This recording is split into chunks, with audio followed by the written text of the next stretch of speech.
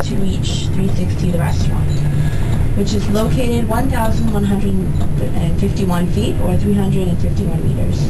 Um, that's 115 meters.